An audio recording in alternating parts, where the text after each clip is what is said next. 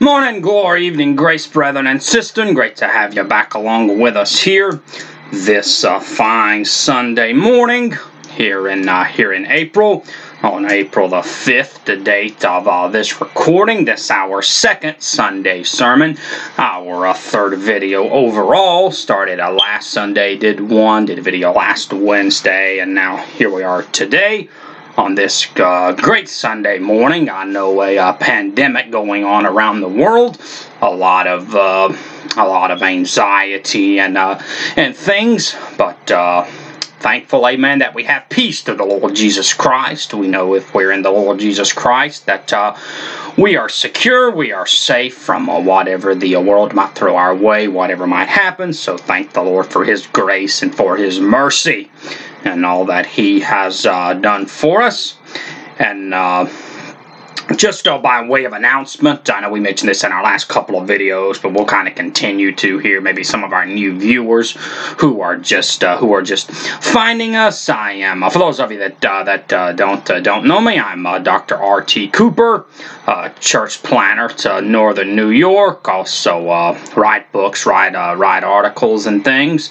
And so you can contact me at according to the word at outlook.com. Once again, that is at according to the word at outlook.com. That's our email address.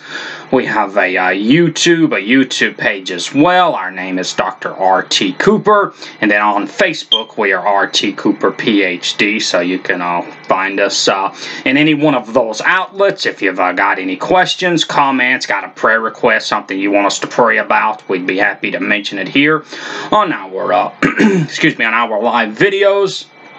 And so that's the uh, ministry that we have. Actually, got a few copies here. The books that I have. This is three out of the four that I have in print right now really as soon as this uh, kind of pandemic is over, we're going to publish a lot more. Got a commentary on Malachi, commentary on Joel and Obadiah, and a commentary on Zephaniah and Haggai. Uh, so you can contact me if you want these, or you can go directly to our publisher, the Book Patch, thebookpatch.com.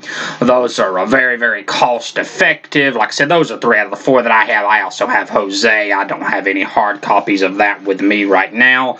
And so uh, you can get those. Hosea is the most expensive one, and it's only $3 and something. Like I said, we don't make a profit out of those at all.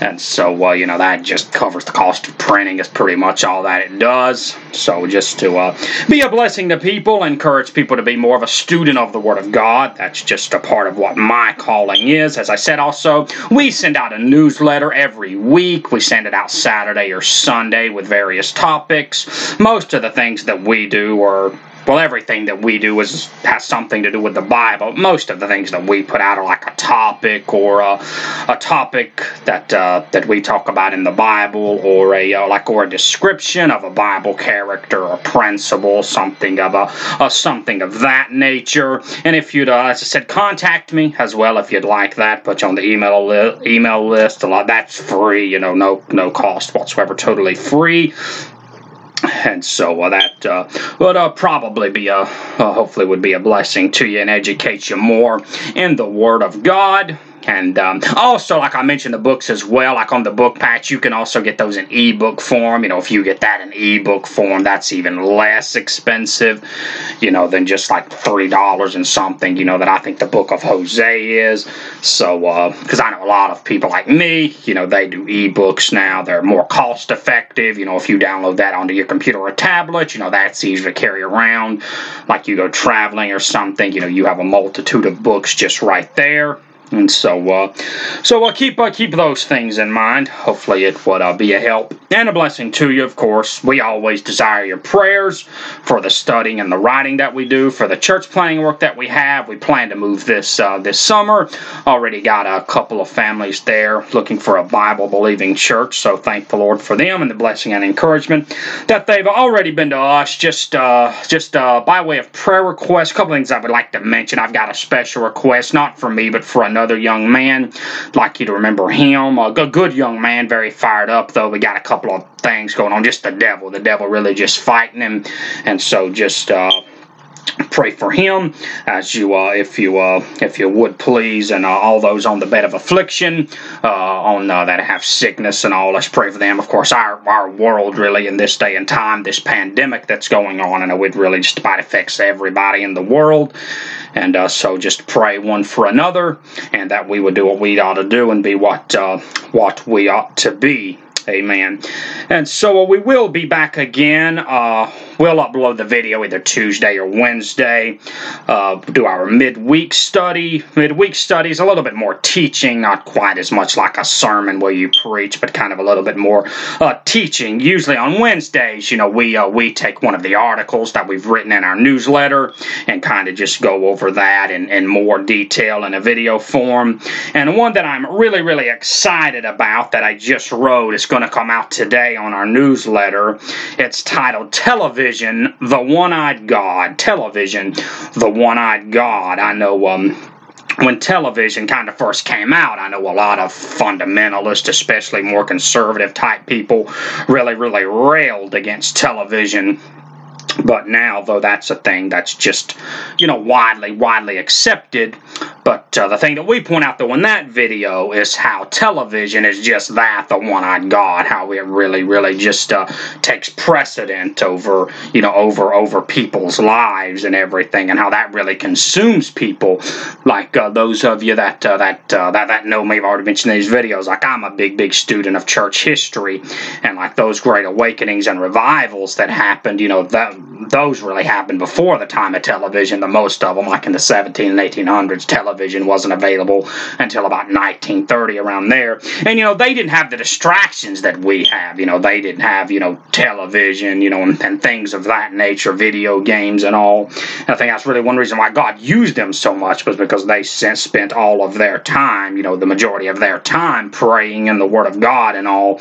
And now, kind of with all the distractions that we have, television, you know, really being the most prominent one you know, we don't, uh, believers in this day and time, you know, they just don't spend time in the Word of God, don't spend time praying as they should.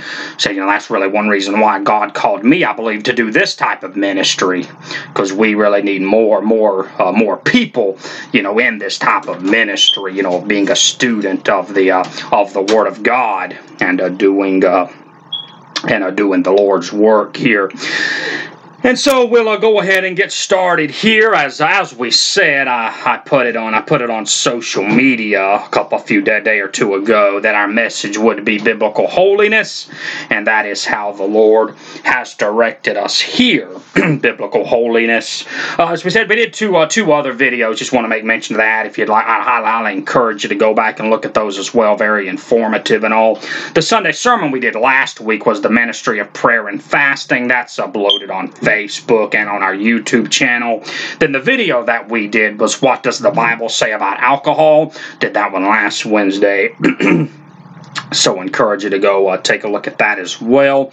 And uh, here, looking at biblical holiness, we've got a lot of text that we're going to cover. I use a lot of scripture.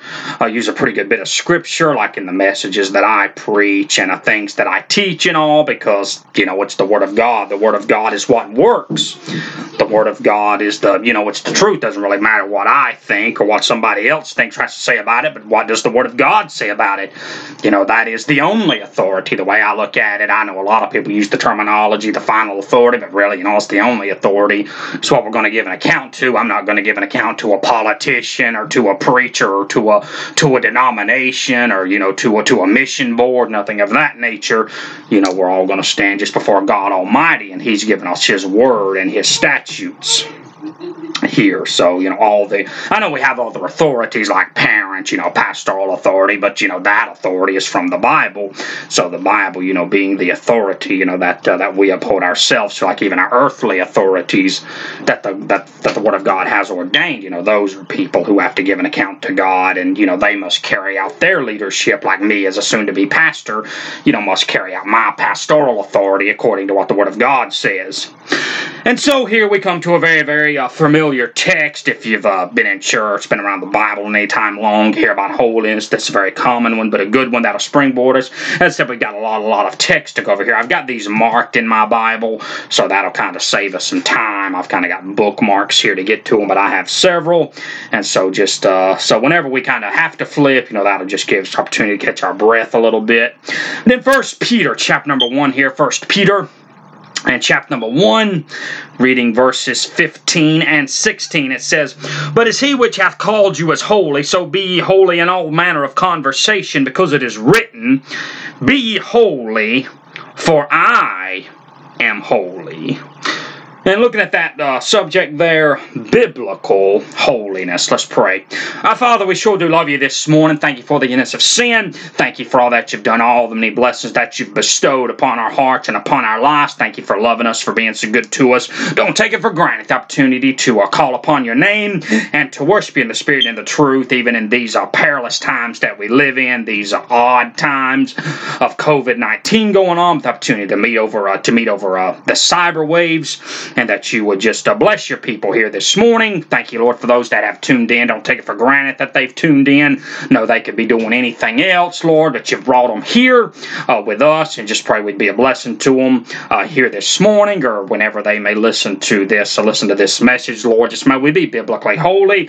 Oh, how we need another revival. Oh, how we need to be stirred up again, a people on fire for you. Just pray you'd bless the word here this morning, Lord, and help us like only you can do that mighty work in us, mighty work through us, and be careful to give you all and all the praise and all the glory for because you are the Lord, for it's in Christ, and we humbly pray.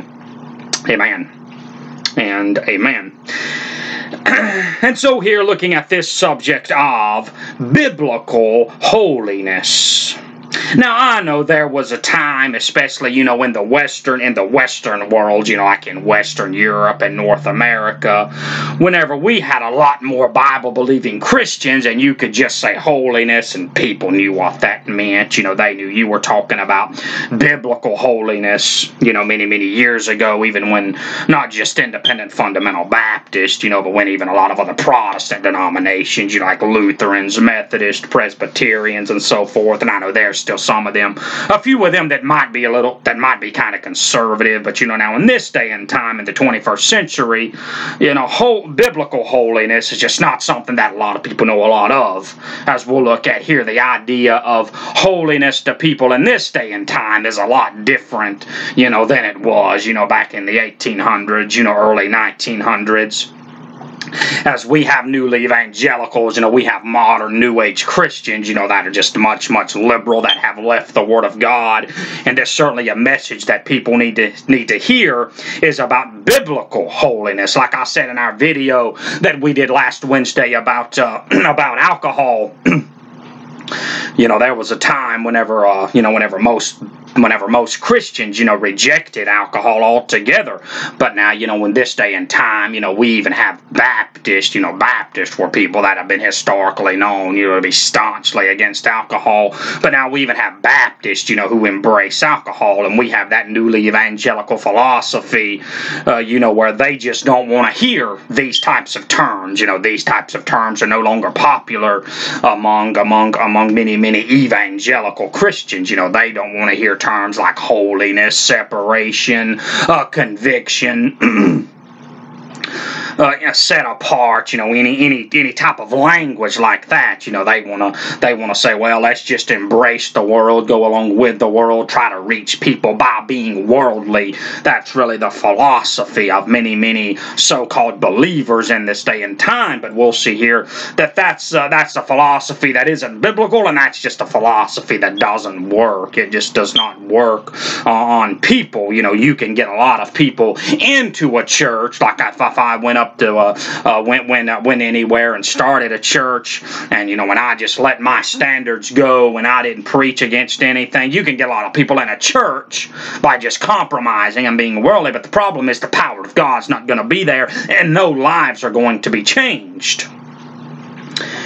We'll look here at biblical holiness. Well, what does the term holy mean? That's what it means. It means to be set apart. To set apart or to rise above to rise above, to be set apart from this world, because as God's people, we are to be different. And that's just that's just the biblical reality. God's people are different than other people are. That's been God's intentions from the from the beginning of time. Like right now, I'm writing. I know I've mentioned this, but it, but it's really good, very very applicable to this. Like I'm writing a commentary on the book of Leviticus. You know, and that's what that book is all about. Like this verse here that uh, Peter that uh, that Peter's preaching from here. That's actually from the book of Leviticus. He's preaching here from the uh, from the from Leviticus 11:44. That's where it's quoted from. Because see, like the book of Leviticus back in Old Testament times, like I said, a good, I think a good way to uh, uh, just to uh, kind of term to term the book of Leviticus is it's God's holiness personified in the Old Testament. Because from the very beginning, God wanted His people Israel to be different than all the other nations. He wanted them to be different than all the other than all the other people of the world. And that's still very applicable to us as New Testament believers. We are to be holy. We are to be set apart. We are to be different. We are a peculiar people. Like Jesus said it. You know, he said, he said the world's going to hate you because it hates me. You follow me, the world's going to hate you because the world the world doesn't like holiness. The world and in their flesh, they don't like conviction. Don't want to have anything to do with it. But we are to be set apart. God is holy. That's our first point. You know, plain and simple, God is holy. God Himself is holy. God, in His character, He rises above the standard of this world, and that's what He wants for His children. We'll see, God's holiness speaks of His exalted status. We'll go to the book of Isaiah, chapter number 63. Isaiah chapter number 63. Got it here. Isaiah 63 and verse number 15. Look down from heaven and behold from the habitation of thy holiness and of thy glory. Where is thy zeal and thy strength? The sounding of thy bowels and of thy mercies toward me, are they restrained? See, look down from heaven. And behold, from the habitation of thy holiness and of thy glory. See, God is holy. That's his greatest attribute. Yes, you know, God is love. God is a God of mercy and, and, um, and a number of other things, but God is holy. God rises above men. God rises above angels. He rises above all creatures. He rises above everything. That is just his character. That's why he is God. He has an exalted status. He has a higher standard than what men has. That's why we have the Bible. That's why we have to have the Bible. That's why I have the type of ministry that I have. Is because just us men and our infinite mind and, and our heart and our infinite being, you know, we can't, uh, uh, we can't, we couldn't comprehend we couldn't comprehend. We couldn't know God's holiness just on our own. That's why we have to have the Bible, the living book. The Bible that is alive, that is from God. That's how we know about His holiness. That's why this Bible, you know, it God used men, but they are only penmen. God is the author of this book. And without it, we couldn't know anything about God's holiness, but His holiness speaks of His exalted status. And also there, staying in the book of Isaiah, in chapter number 6, and verse number 3, talking here about, uh, says, And one cried unto another and said, Holy, holy, holy is the Lord of hosts. The whole earth is full of his glory. That's the Saram there, the Saram, the angelic beings. Holy, holy, holy is the Lord of hosts. The whole earth is full of his glory. See here, God's holiness is the special ground of reverence and adoration. Also in the book of uh, Psalm, the 111th Psalm.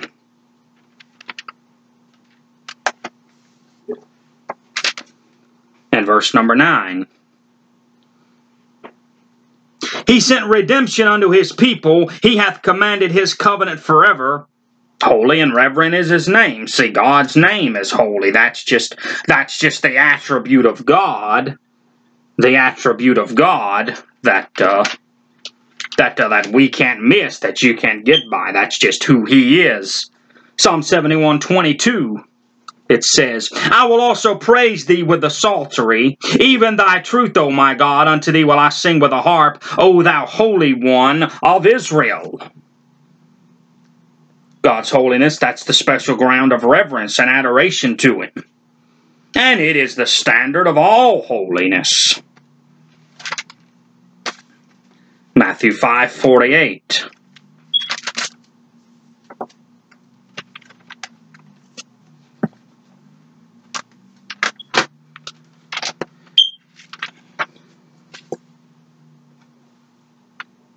It says, Matthew 5 48, Be ye therefore perfect, even as your Father which is in heaven is perfect. Like you want to talk about perfection, that is God. That is His holiness. As we said there, that is the standard of all holiness. In that term there, like in Matthew 5 48, talking about completion, like he's telling the Lord's people, you need to be complete as God is complete. Just like God perfected his commandments, perfected his statutes, perfected his morals, us as a people, we are to get to that place of completion. No, we will never ever be sinlessly perfect, but we can be complete though.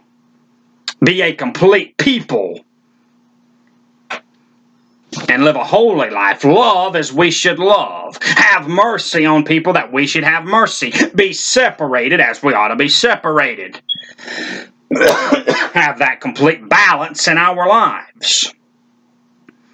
You know, that steady diet of feeding on the Word of God, feeding in prayer, being the witness that we ought to be, giving to the Lord's work in the way that, that we should, you know, with our finances and with our time, with our prayers having the, having our heart where it ought to be, having a heart for the Lord, a heart for the a heart for the Lord's work.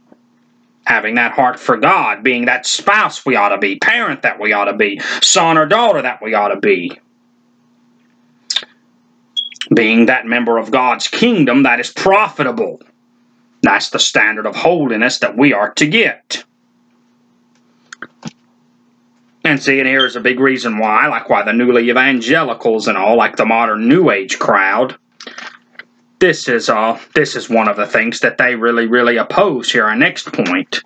We go to the Book of Habakkuk, chapter 1, and verse number 13. If you're following along with us, I know Habakkuk, that's one of the least familiar books of the Bibles, and the minor prophets, kind of right in the middle of the minor prophets. You go all the way to the end of the Malachi, flip back a few, and you'd be in Habakkuk, chapter 1, and verse number 13.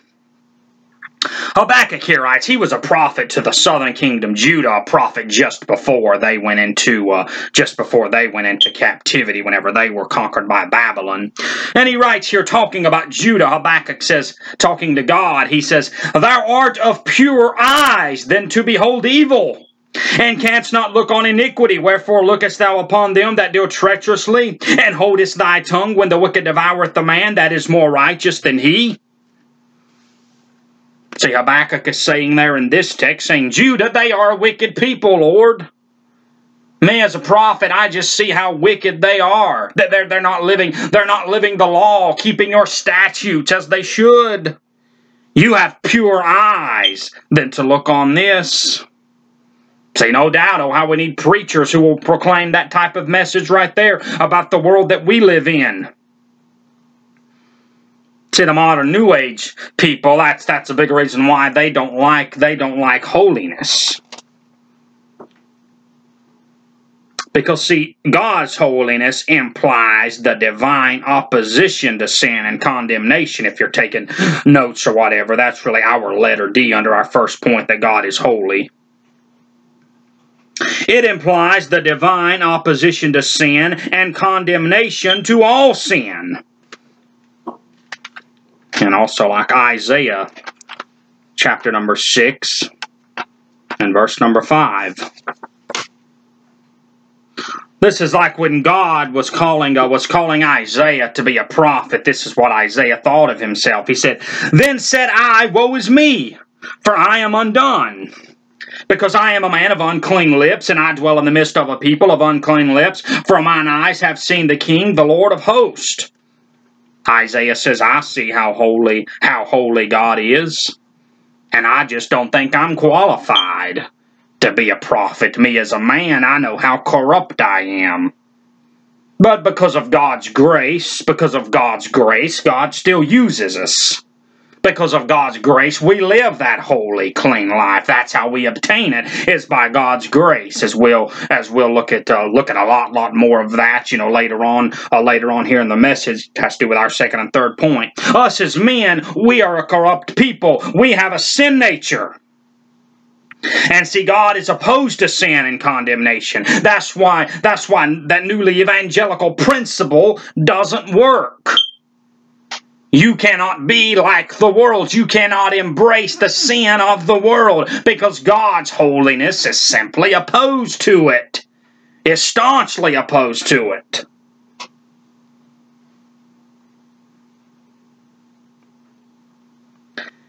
And we'll look here. Our next point here, letter E that if you're taking notes, number one, God is holy. Letter A, God's holiness speaks of his exalted status. B, it is the special ground of reverence and adoration. C, it is the standard of all holiness. D, it implies the divine opposition to sin and condemnation to all sin. And now letter E, it is revealed to men as setting before them the highest end of their aspiration and hope and endeavor. See, that's simply, that's what we should shoot for this morning. I'm not to try to be like the world. I'm to try to be holy as God is, as His Word commands. Like we said there, our opening text, 1 Peter 1.16, Because it is written, Be ye holy, for I am holy. As we said, the Apostle Peter, he got that from the book of Leviticus, a book that's just all about God's holiness. Leviticus chapter 20 and verse number 7 where it says, Sanctify yourselves therefore, and be ye holy, for I am the Lord your God. See, as we said here, the people of Israel, they had to be different than all the other nations of the world. And you'd actually look, if you look at this verse in its context, you'll see here that he's actually talking about witchcraft, like witchcraft and the occultism. You know, that that's not a new idea that, that just came out with Disney or, or Steven Spielberg or Hollywood, you know, horror movies or anything of that nature. Like we look here at verse number 6, we'll read it in its context. And the soul that turneth after such as have familiar spirits and after wizards, to go a whoring after them, I will even set my face against that soul, and will cut him off from among his people.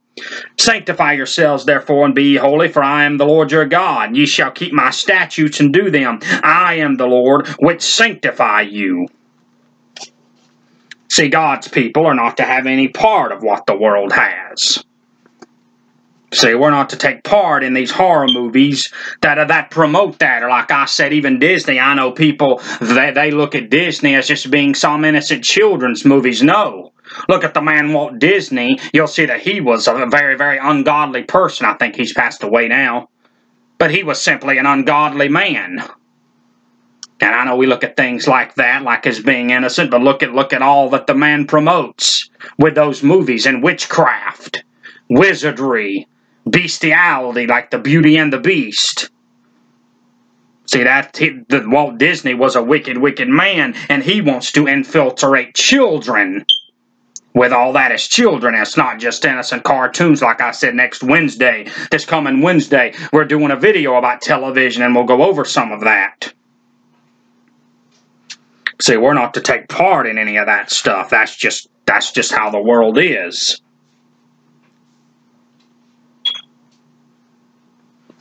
Also Exodus chapter number 19, verses 3 and 6 also goes along with, uh, with this text here.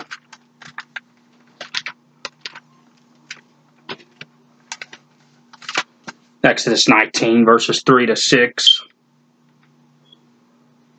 And Moses went up unto God, and the Lord called unto him out of the mountain, saying, Thus shalt thou say to the house of Jacob, and tell the children of Israel, Ye have seen what I did unto the Egyptians, and now how I bare you on eagle's wings, and brought you unto myself. Now therefore, if you will obey my voice indeed, and keep my covenant, then ye shall be a peculiar treasure unto me above all people for all the earth is mine. See, that's what we've been saying from the get-go, kind of been our theme here. God's people are to rise above this world. We're a peculiar people. As Moses writes here, we're a peculiar treasure. We don't belong to the kingdoms of this world. We belong to the kingdom of God. And ye shall be unto me a kingdom of priests and an holy nation. These are the words which thou shalt speak unto the children of Israel.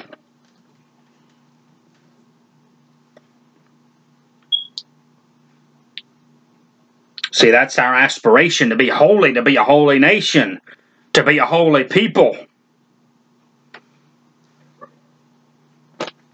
We'll look here at the Psalm 98.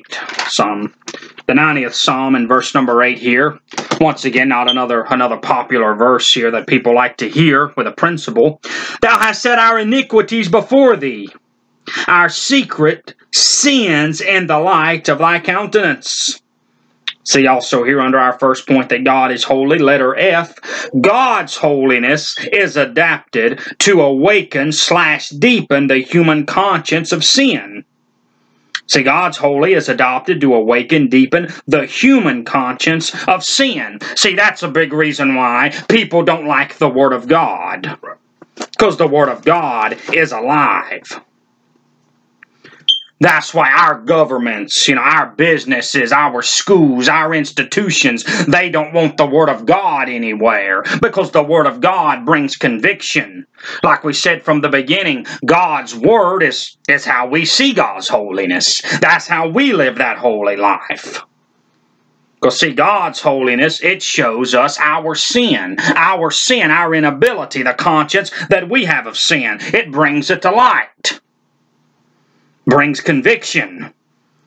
Like once again, you know, that's just kind of the, the, the modern New Age Christianity people. You know, they don't want to feel convicted. Like back when I was in the military, back when I was in the military, like I was telling a lady about an independent Baptist church kind of next to where she lives. She said, No, I don't go to churches like that. There's too much pressure. I want to go to a church where there's no pressure. She told somebody that right after I told her that. I just go to these non denominational churches, you know, that don't preach a whole lot about sin or nothing. See, people, they don't want to have anything to do with the Word of God. They don't want to have anything to do with real Bible believing Christianity because it reveals their sin. But that's just the Word of God. A person that has a heart for God, we'll see even more here in a little bit, they want to be holy. They have that desire, just like our original text says here. We should have that heart to be holy as God is holy. And that really closes us out there with our first point that God is holy. And now we'll look at that number two. We'll look at holiness and salvation. Holiness and salvation. We'll go to the book of Hebrews the book of Hebrews in chapter number 3. Let's see how sal God's holiness is in salvation. Hebrews chapter 3 and verse number 1 Wherefore, holy brethren, partakers of the heavenly calling, consider the apostle and high priest of our profession, Christ Jesus. Look at the apostle Paul's language here. Holy brethren, partakers of the heavenly calling, because salvation is a heavenly calling. There is holiness in our salvation. We don't neglect holiness. That's not just holiness. You know, that's not just some word that uh, that that Pharisees use that uh, that we should have no part in. No, that's biblical. Very biblical. Ephesians chapter 1 and verse number 4 to go along with that point as well. According as he hath chosen us in him. See, we are God's people, chosen us in him before the foundation of the world, that we should be holy and without blame before him in love. See, God saves people to be holy. God's people are to be a holy people. If you've repented of your sins and accepted the Lord Jesus Christ as your Savior, the Holy Ghost lives in you. See, that's His name, the Holy Ghost, or the Holy Spirit. See, He, the Holy Ghost, lives in us so we can rise above, so we can live according to God's standard, because we can't do that in itself. I'm thankful this this uh, morning that I was raised in a Christian home. I had Christian parents, but just like everybody else, I was born lost. I was born in sin. And whenever, before I was saved, I had no interest in the things of God. I wanted to be as much like the world as I could. I thank God I never was way, way out in the world like on drugs or alcohol or anything like that, but I love the rock music. I love the rock music. I love the horror movies. It's what I live for. Like in the house of God on Sundays, I wasn't interested. I wasn't interested in worshiping God. I couldn't wait till church was over so I could get home and watch the NASCAR race or, or watch the NFL ball game. But see, after God saved me, God put something else in me. And the more and more we grow, see, look at that term there, grow. You know, grow, that means go up, get bigger. Like we grow in the Lord, we become more and more holy. See, that's like holiness. Not popular in this day and time, but that is just something that is biblical. That is just plain and simple biblical Christianity. See number two there, we see our holiness and salvation. Hebrews chapter 3, verse 1, Ephesians chapter 1, verse 4. And now we look at holiness and righteousness and moral purity. See, this like a process. That's what comes after. But as we said there, whenever somebody, you know, somebody first gets saved, you know, that they don't know everything. When somebody gets saved, you know, they don't know everything. They're a babe in Christ. Like, I don't expect somebody who just got saved last week, you know, to know as much about the Word of God as somebody that's been saved for 10 years. It is a process. But as we said, though, it is growing. We grow in the Lord. We mature just like a human being. Like my daughter, when she was first born as an infant, she couldn't do nothing. About the only thing she could do was cry and drool. But now she's almost five years old. She can do a lot more things now. She can walk, she can talk, etc just like walking with God. The, the more and more, the older that we get in the Lord, the more and more we are to mature and grow and be more righteous and have more moral purity, like Jeremiah chapter 31 and verse number 23. Thus saith the Lord of hosts, the God of Israel, As yet they shall use this speech in the land of Judah and in the cities thereof, when I shall bring again their captivity. The Lord bless thee, O habitation of justice and mountain of holiness. See, as we said there, like Jeremiah, he was also a prophet to Judah, just as Habakkuk was.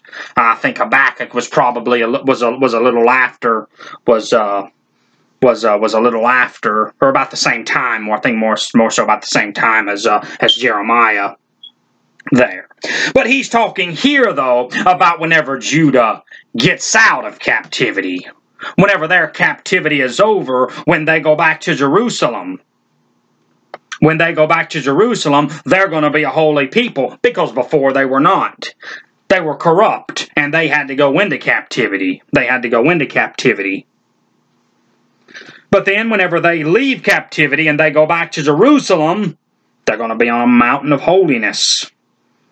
Because, see, that's what they have to do. They have to be a righteous, they have to be a moral people. That's what God called them to be. And of course, thank God that they did go back to Jerusalem, because after they went back to Jerusalem, they produced the Messiah, the Lord Jesus Christ. Luke chapter 1 and verse number 75. Luke 175, where it says, In holiness and righteousness before him all the days of our life. See, that's actually Zacharias there, the father of John the Baptist, singing a song about the holiness and righteousness of the Lord Jesus Christ. Ephesians chapter 4 and verse 24 as well.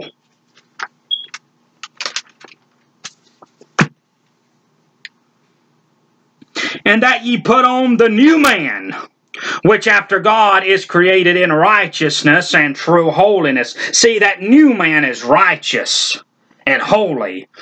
The Holy Ghost now living in us. We are righteous, and we are to be a holy people. That is the uh, that is the attributes of the new man, to be holy and to be righteous.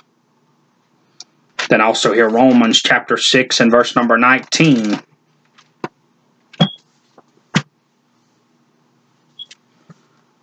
Romans 6:19 I speak after the manner of men because of the infirmity of your flesh for as ye have yielded your members servants to uncleanness and to iniquity unto iniquity even so now yield your members servants to righteousness unto holiness telling the church of Rome you were a corrupt people just like your forefathers Judah and Israel who had to go into captivity you need to quit living that life of iniquity and start being holy and pure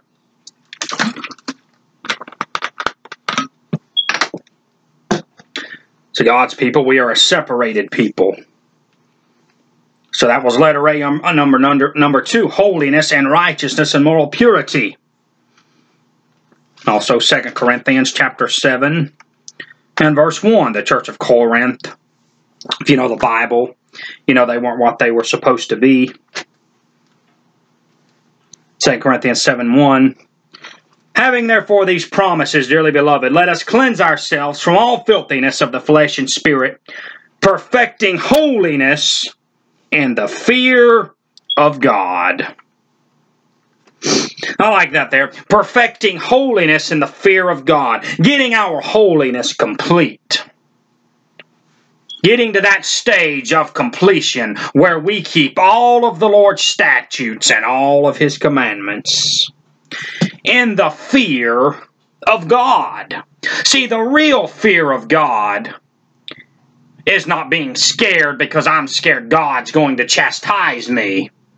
The real fear of God is not wanting to let God down. I've got a message I preach out of the book of Deuteronomy that explains that very, very well.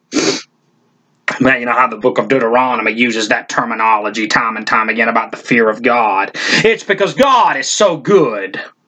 God is so wonderful. God saved me from hell. God provides for me. God's my reason for living. That I do not want to let him down. I do not want to fall back into sin to let him down. I want to represent him in that facet that is pleasing unto him.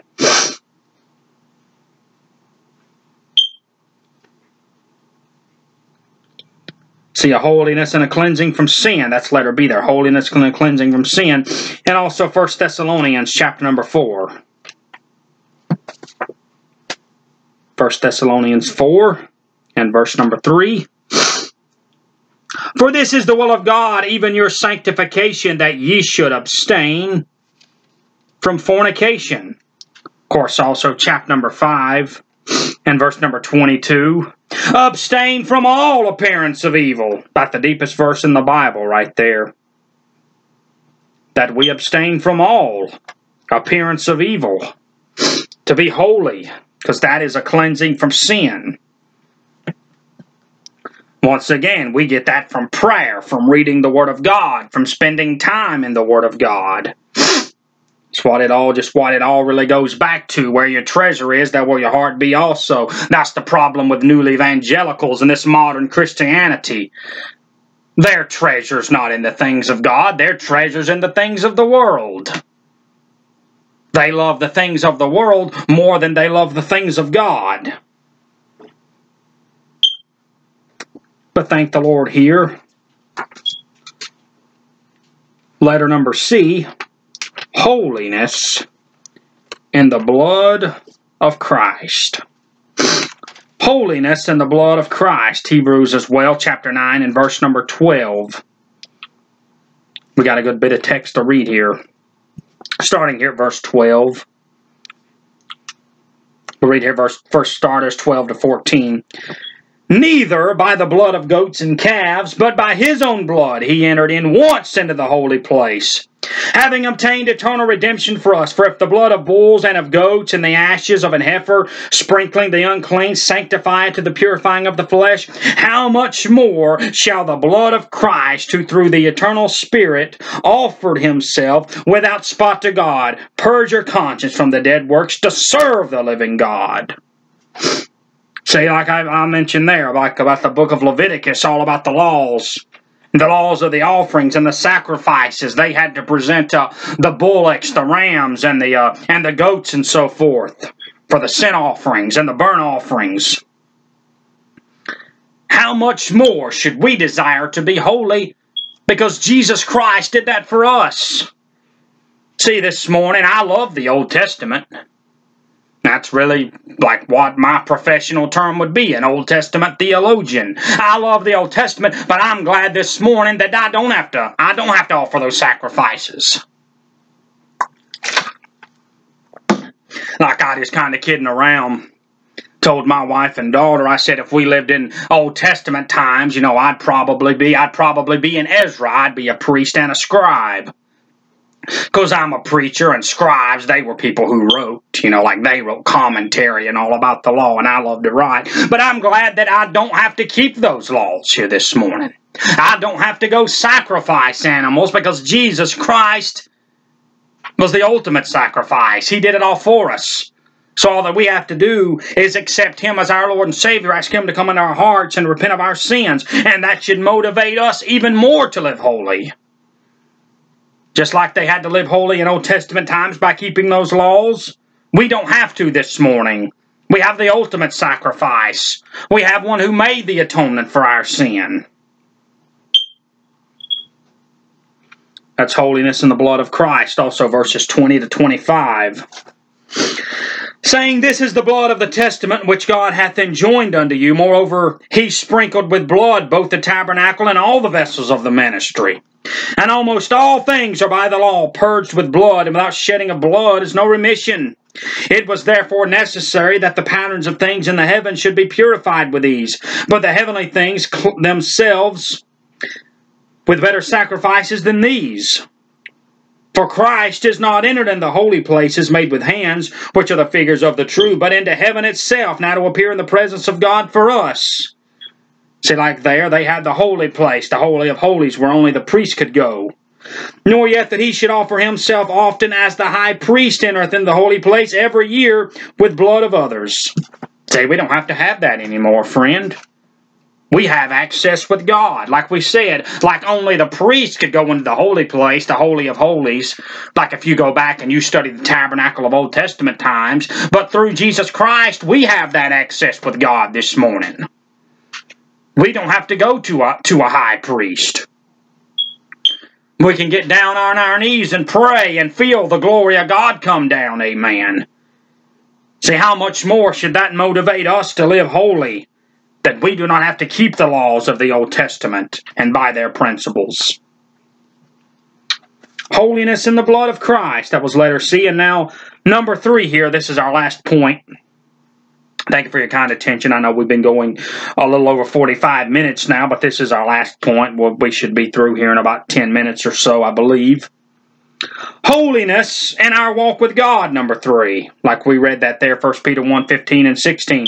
That's our, our text also for this third point. Be ye holy, for I am holy. Because that is our walk with God. Simply in our walk with God, we are to be holy as God is holy. We are his children. We are to live according to his standards. Just, you know, like with, with my daughter, just like you with your kids. Or, you know, kids that you had before if you're older and they don't live in your house anymore. You know, you have standards for them. They have to live according to your standards. Just like we are to live according to our Heavenly Father's standards, God. Simply starting off here, how about holiness in our daily life? Holiness in our daily life. That's letter A. We find that here in the book of Colossians in chapter number 3 and verse number 12. Put on, therefore, as the elect of God, talking about saved people there. I'm, I'm not I'm not a cow I'm not a Calvinist, but before the I believe Jesus died for everybody. But just like another verse that we read before said, before the foundation of the world, God knew who would be saved because God is sovereign. God nothing surprises God. God is sovereign. He knew who would be saved, and therefore He elected them before the foundation of the world. Put on therefore as the elect of God, holy and beloved. Bowels of mercy, kindness, humbleness of mind, meekness, long suffering, Verse number 14, for bearing one another and forgiving one another, if any man have a quarrel against any, even as Christ forgave you, so also do ye. And above all these things, put on charity, which is the bond of perfectness. See, we, we saw that term time and time again, perfectness, talking about completion. You know, obviously not that us as people will ever live a complete, sinless, perfect life, but being complete, that means getting to a getting to a getting to an age of maturity, getting to a mindset and a heart set of maturity, like where we are mature believers. You know, where we have that daily time with God, daily time in the Word, daily time in prayer, like, like having the principles that this text talked about here you know, being humble, having mercy, forgiving other people, being long suffering, not holding grudges, not quarreling, not not not being like a baby and arguing with other people in the church. But having that bond of perfection of perfectness, like it says there, putting on charity, putting on the love of God, having those biblical principles holiness in our daily lives, doing that in our daily life. See, having that holiness in our daily life, that, that shows that level of maturity like nothing else. Holiness in our daily life, also holiness in our worship. I actually quoted this verse here last Wednesday when we did the video about alcohol.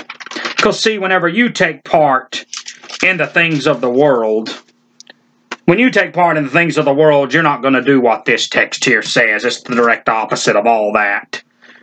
You can't pop open, uh, pop open and drink a beer, or listen to, or listen to rock music or hip hop music, or or watch filthy stuff on the television, and do what Psalm 29 2 says here. Give unto the Lord the glory due unto his name. Worship the Lord in the beauty of holiness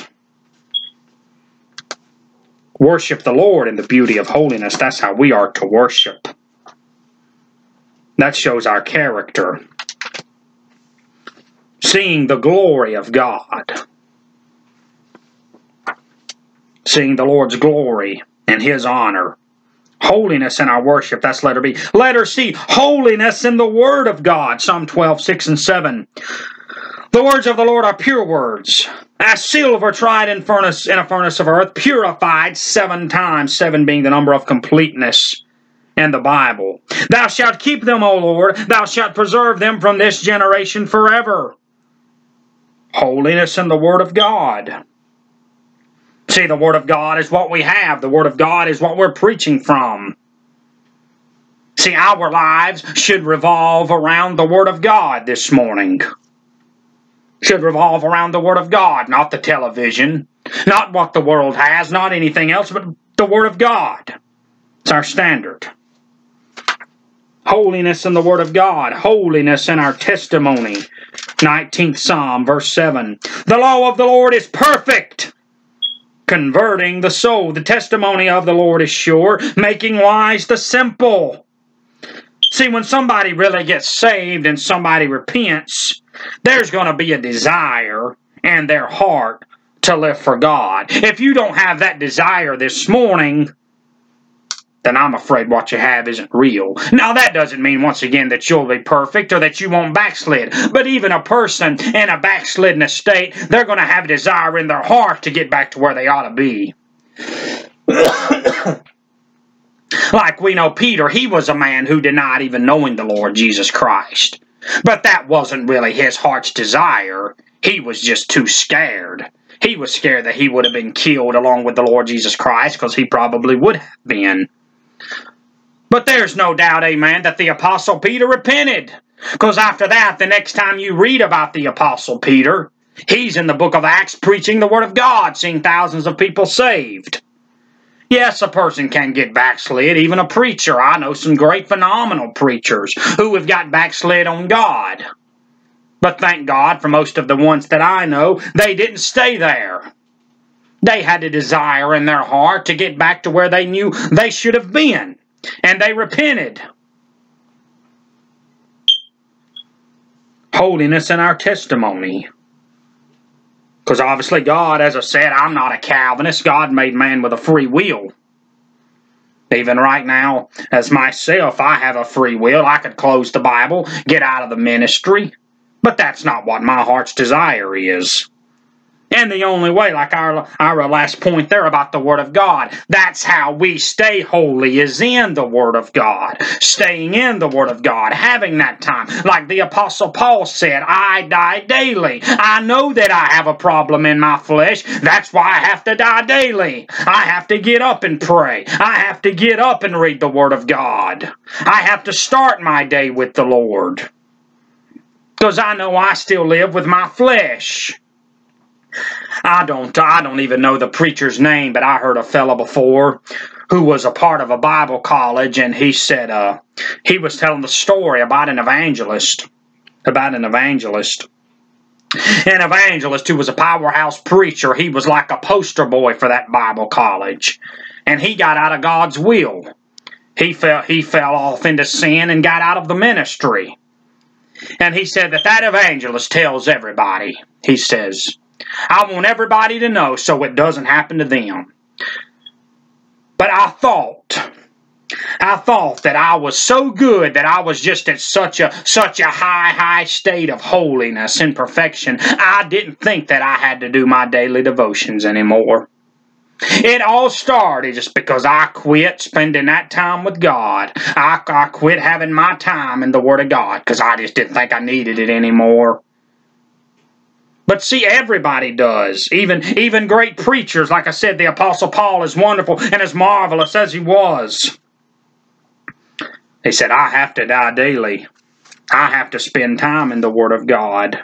If I wanna if I wanna be that holy, separated man of God that I ought to be, I gotta die. I gotta I gotta kill my flesh and get in the Word of God and get in prayer. Holiness in our testimony holiness and being separated from the world. Start there. We'll read Psalm 26 all the way to 27 2. Judge me, O Lord, for I have walked in mine integrity. I have trusted also in the Lord, therefore I shall not slide. That's a great thing there about the book of Psalms. And a lot of these Psalms, you really, really see the heart of David. See, he says, "Judge me, O Lord." That's the you know that's the direct opposite terminology of the modern New Age Christianity crowd. Don't judge me. Don't don't tell me I'm wrong. Don't, don't preach against the things that I do. I'm just being me. Yeah, and what you are, friend, is ungodly. What you are is carnal. That's what your flesh is. You're carnal because you are seeking after the flesh. But you see, David here, he's the direct opposite. He says, Judge me, O Lord. I want you to judge me. Verse number two, he continues, Examine me, O Lord, and prove me. Try my reins and my heart. See, that is a great picture of a believer who really has a heart for God. Somebody that wants to be examined. Somebody that wants to be judged. Somebody who wants God to convict them. Like I told you that story about that lady I knew back when I was in the military. They don't want to feel any pressure or be convicted. But a real believer wants to be convicted because they want to be more like God. They want to be a holy, God called, separated from the world believer. See, that's what this point is here. Point number E. Holiness is being separated from the world. A real believer that has a heart for God, they don't want to be more like the world. They want to be more like God. They want to be like His holiness. For thy loving kindness is before mine eyes, and I have walked in thy truth. I have not sat with vain persons, neither will I go in with dissemblers. See, there it is right there, separation from the world. He says, I'm not going to go. I'm not, I'm not going to go fellowship and go hang around with vile people. Verse 5 I have hated the congregation of evildoers, and will not sit with the wicked. I will wash mine hands with innocency. So will I compass thine altar, O Lord, that I may publish with the voice of thanksgiving and tell of all thy wondrous works. Lord, I have loved the habitation of thy house, and the place where thine honor dwelleth. Ah, he said, I love the house of God. I, I can't be more clear right there, crystal clear. I love the house of God. I love the things of God, but I hate the world. I hate the works of darkness. Gather not my soul with sinners, nor my life with bloody men, in whose hands is mischief, and their right hand is full of bribes. But as for me, I will walk in mine integrity, redeem me, and be merciful unto me. My foot standeth in an even place, in the congregations will I bless the Lord.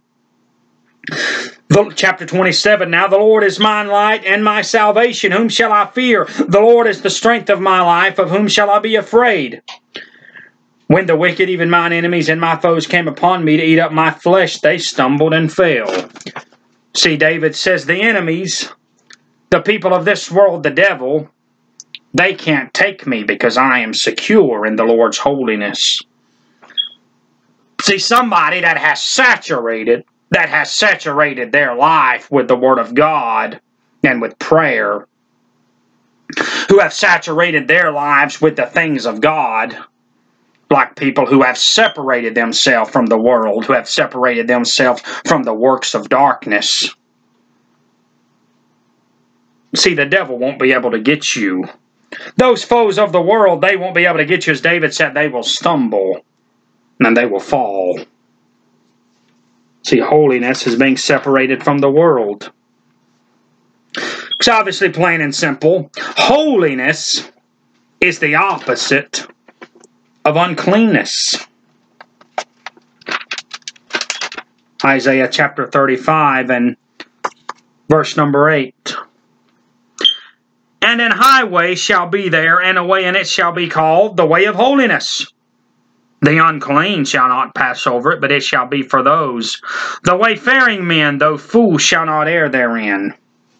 See, God's holiness is the opposite of uncleanness unclean people, they don't want anything to do with the holiness of God. They don't want anything to do with the things of God. And just like a real holy person, a person that has a heart and a mind set on the things of God, they don't want any part of what the world has. 1 Thessalonians chapter 4 and verse number 7 says, For God hath not called us unto uncleanness, but unto holiness like I've heard people too like use that personality. They're just they're just being themselves using their own personality. Yes, we have different personalities, but living godly has nothing to do with a personality. Like I had a man tell me that whenever he was uh th- th- this was a man who was really really big in the Christian heavy metal scene. Like he was actually telling me like about a really popular Christian heavy metal band, like how they drunk alcohol all the time and got drunk. He said, "Yeah, like them boys, they you know know, they had me under the table drinking, getting drunk. They're just, he, he, that's the terminology he used. They're just being themselves. They're being their flesh.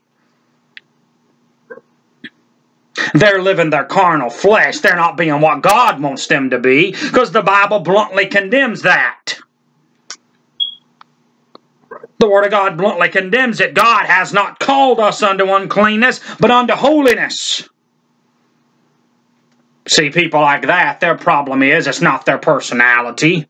That's not a matter of being an extroverted or an introverted person, or a person who's more sensitive, you know, or, or a person who's more blunt and outspoken. That's just a matter of ungodliness versus godliness. That's all that is. That's a matter of being holy and being ungodly. Like with those people there, that's just a matter of them feeding their flesh rather than feeding their spirit. That's a matter of people who are just more interested in worldliness than they are godliness. Because what does it say there? Another very, very familiar text out of the book of Matthew, chapter number 6 and verse number 24. No man can serve two masters, for either he will hate the one and love the other, or else he will hold the one and despise the other. Ye cannot serve God and mammon. You can't have the world and God. It doesn't fit, it doesn't match. It's a contradiction. You know, that's like uh, like I said when I did that video last Wednesday about alcohol. You know, even even a lot of lost people, you know, they realize that principle.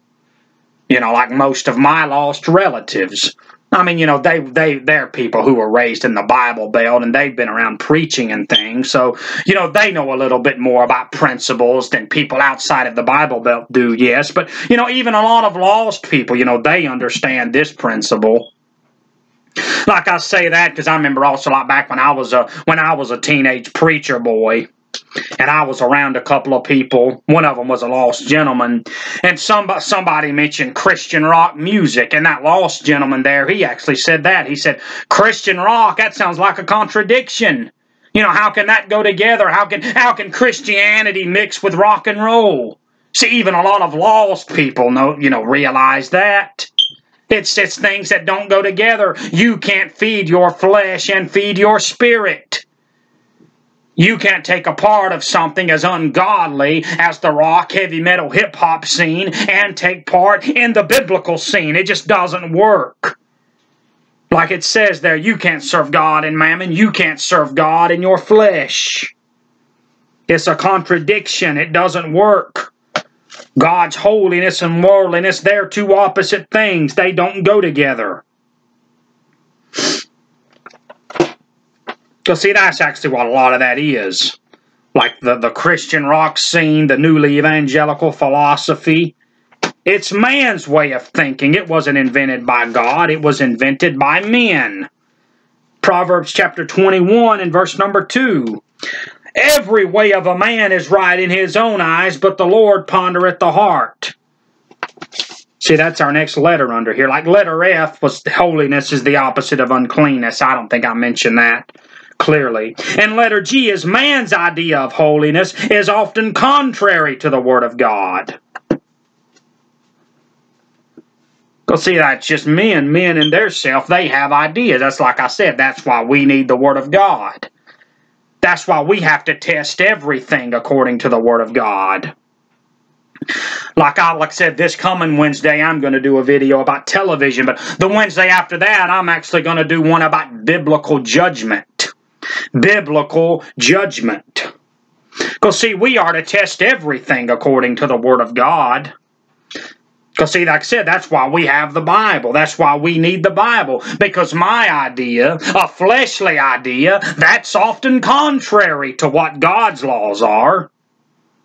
Man made. Like, why do we have so many different denominations out there, friend? Because man's ideas are different than God's ideas.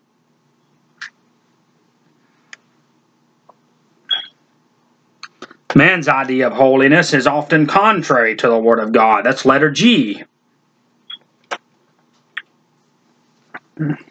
See, like Romans chapter number 7, winding down here, coming upon letter H, it's got a couple more of these to go and we will be finished. Romans chapter 7 and verse number 22, it says, For I delight in the law of God after the inward man. Verse 23, But I see another law in my members, warring against the law of my mind and bringing me into captivity to the law of sin which is in my members. See, a person with a heart, with a heart for God will delight in God's holiness. See, the Apostle Paul says there, I delight in the law of God. I delight in God's holiness rather than my flesh. See, you have all these modern New Age Christianity people who want to drink their alcohol and, and do the heavy metal concerts and, and go watch the horror movies and all that stuff. Their problem is, the Apostle Paul nails it down here, they don't delight in the law of God, they delight in the flesh. Because see, God's Word has statutes. It has commandments. It have it has morals. It has principles that God's people are to live by. A person with a heart for God will delight in God's holiness. They're not going to delight in the flesh. Then lastly here, letter I, holiness leads to the perfect will of God. Romans chapter number 12 We'll read, really, it's just verse 2, but I'm going to read verses 1 and 2 because this verse 1 here is really good, really goes right along with it. I beseech you, therefore, brethren, by the mercies of God, that ye present your bodies a living sacrifice, holy, acceptable unto God, which is your reasonable service. See, first of all, there, friend, you don't belong to yourself. A Christian doesn't belong to themselves. You belong to God. Like I remember I had a, a young lady who told that who told that to me before a teenage girl. She said, I'm just gonna she she claimed to be a Christian, claimed to be saved, and I was just telling her like really the principles we've been talking about about living a holy separated life. She said, well, I'm just gonna be me though and do what I want to do. See, that's the mark of somebody who probably isn't even saved to begin with, as we said. Somebody who was saved, they're going to have a desire to live for God. And not just that, but I talked to that young lady for several, several days, and, and you know, I, I can't help it. I just got the gist. You know, her salvation wasn't biblical salvation. She didn't, you didn't see a desire in her to live for the Lord at all. You know, like I said, she told me she got saved. But, you know, told me she got saved, but, you know, she wasn't living a different life from when she was lost. Because, see, you don't belong to yourself. You to present your body a living sacrifice, holy acceptable unto God. He says that is only your reasonable service. It's only your reasonable service. God's not asking anything uh, special or extraordinary out of you. Wanting you to present yourself a living sacrifice and holy, acceptable unto God. Well, God will accept anything. Now, yes, we know, thank God, He will accept every sinner. He will accept every sinner and save every sinner, but God will only accept believers who live holy lives. That is his standard. That's what that means, holy, acceptable unto God. We are to be believers who live holy, who rise above the ways of the world. Verse number two, and be not conformed to this world. See, we're not to be conformed to this world. We're not to try to be like the world. Be not conformed to this world, but be ye transformed by the renewing of your mind, that ye may prove what is that good and acceptable and perfect will of God. Holiness leads to the perfect will of God. You really want to find the perfect will of God for your life, you got to live holy. See, you can't be living out in the wor- out in the world and expect for the will of God to be carried out in your life. Because we read those verses there. God wants believers who are holy. God wants believers who are acceptable to Him, who are living that holy, separated life. See, like a carnal Christian, that's something that I've seen in the last year or so of my personal life. You know, seeking the will of God for my life, like going back to northern northern New York to plant churches. Carnal Christians don't understand that. Like, why are you taking your wife, who's from the deep south in Alabama, and your and your little daughter, like way up, way, way up to northern New York? Around that kind of people in that cold weather, etc. They don't understand it because they're carnal people. They feed their flesh more than they feed the Spirit of God. But only God's holiness leads to His perfect will. Romans 12 2. That was Romans 12 2. And, you know, just lastly here, another very, very familiar text. I initially when I got this message didn't include this verse, but it, you know, just sums everything up really good, very familiar, 2 Corinthians 6.17. Wherefore come out from among them, and be ye separate, saith the Lord, and toucheth not the unclean thing, and I will receive you. See, there's two parts to that. First of all, you have to come out from among them and be separate and touch not the unclean thing. See, don't even mess with it. Don't even touch it. See, it's best if you don't even touch Hollywood movies. Like we read that verse from First Thessalonians, abstain from all appearance of evil. It's just best just abstain from it altogether. But there's a second part, and I will receive you. You're received of God. You're received into His service to do whatever God wants you to do. God needs people everywhere. That's up to you and God. I'm actually also going to write an article about that, hopefully in a week or two. It's been on my heart for a while about stirring up the gift that God has given you. Like Paul told Timothy, we all have our special gifts. Like, yes, you know, we all do have our have our own personalities. You know, God has just gifted some people to go to Africa, go to go to South America, go to Asia, go to some third world country in a very different culture.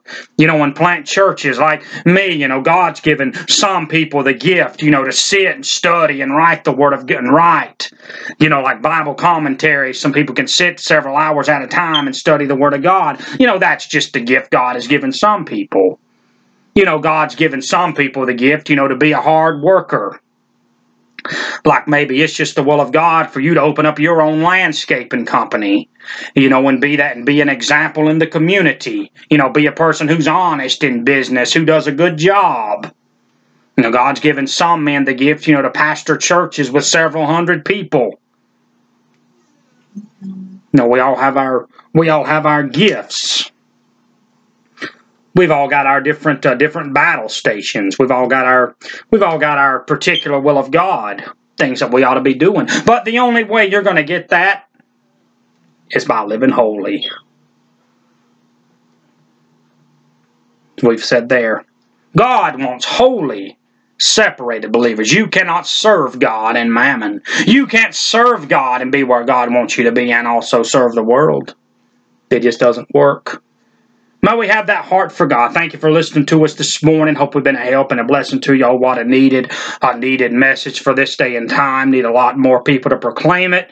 Like uh, we, we'd love for you to do that. Like you get us on YouTube, you can share this message to whatever social media platform. Uh, sh uh, show it, share it with your family, your friends, and all. And we need keep us in your prayers. We live in horrible times. This isn't easy to do. I know it's not easy to live that holy separated life. We've got distractions out there. We've got worldliness. The devil hitting us on all sides. Like I mentioned, that young man that I want you to pray for, fired up young man, but he lives he lives up he lives way up north in a horrible horrible area. Like he described it to me. It's like living in Sodom and Gomorrah. He's very fired up. I I've talked with him and prayed for him now now several several times. I met him through through my best friend from the military who passed away back in January. But he's a very fired up young man, but the devil's after him just like he's going to be after all of us. You get a hold of this message. You try to live holy. You try to live separated. You try to do something for God. Devil's going to be after you, friend. Need to pray one for another. I don't preach this message trying to sound self-righteous. There's nothing good in me. I come from a blue-collar English-American family from upstate South Carolina. Nothing at all special about me this morning, just what God has done for me. Now I've just got that desire to proclaim His word, desire for another revival. So that's not what we need. Stay tuned with us. Like I said, be with us Tuesday or Wednesday. Probably be Wednesday, but Tuesday or Wednesday. Have our next video uploaded. Like I said, contact me. Want to get our newsletter? We can help you in any way. Got a prayer request or anything? Just contact us. Let us know. Be happy to pray for you. Help you in any way we can. Let's close in prayer. Our Father, we love you this morning. Thank you for the forgiveness of sin. Thank you for your word and what it means to us. As we said, not because I'm anything anything, not because there's anything good in me this morning. I'm nothing. I'm just an old sinner, been saved by the grace of God. But you saved me, Lord. You did save me. And you called me to proclaim your word, Lord. And we just want to be used of you. And I pray that all of our listeners out there would be like that. They just want to be used of thee, Lord, no matter where they are. I know that's a great thing about our technology. We can reach people all over the world and know how we need believers all over the world. We still need them in central Alabama. We need them in upstate South Carolina. Need Need them in upstate New York. Need them in Ontario, Canada, Lord. Need them all around the world. Asia, South America, Africa, Australia, Europe, oh Lord.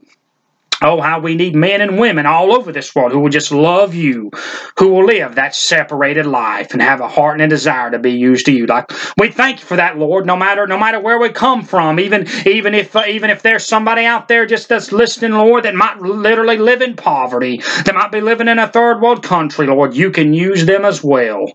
You can use anybody, Lord, and we need, I know, Lord, you need believers anywhere and everywhere that'll be used of Thee, and we just pray that we would do that, Lord, in our facet, in that way that'd be pleasing unto Thee, Lord, that we would find Your perfect will. For it's in Christ's name we pray. When out there listening lost, pray You convict them and save them, one discourage, encourage, one backslid, reclaim them. Just help us do that work, Lord, that you'd have us do to build your kingdom in that fastest pleasing unto you, Lord. For it's in Christ's name only pray. Amen and amen. Thank you for listening. I'm Dr. R.T. Cooper. We'll see you next time.